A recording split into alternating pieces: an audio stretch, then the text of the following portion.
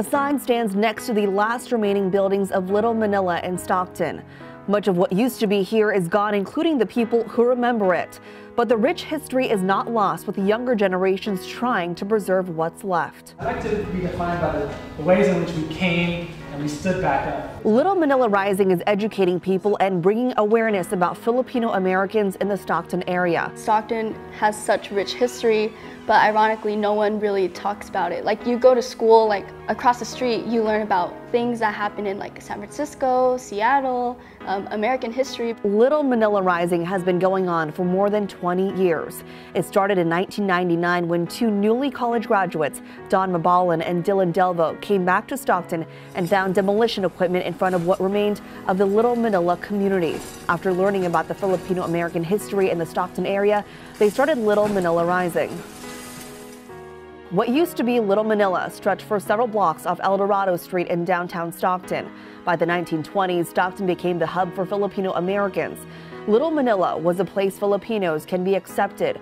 It was an unspoken law that if you were a person of color in the 1930s, you were not welcome north of Main Street. The organization Little Manila Rising started through educating the public and community, and six years ago, it became a nonprofit. They have several cultural programs and youth advocacy initiatives addressing social justice issues. The programs help students understand their history that's not often taught in schools and how to be advocates for today's issues.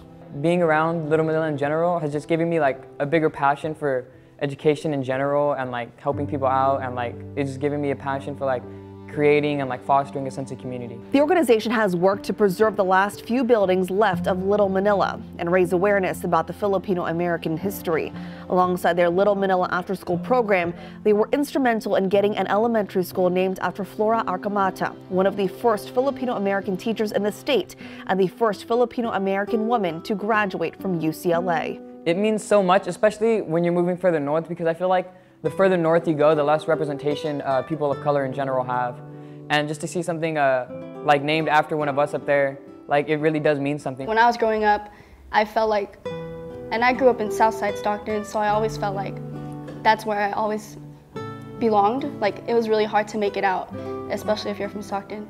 But if you have like representation in your community, then that's who the youth believe that they can become. The organization has become a close-knit community where many have learned to appreciate and understand their roots. And I feel like it took some time. It still takes time because I'm still healing from like generational trauma, generational anxiety, and trying to find like my place in the world and in the movement as a Filipino American. I think um, what makes me different though is like I'm not just a Filipina, I'm like a Filipina from Stockton.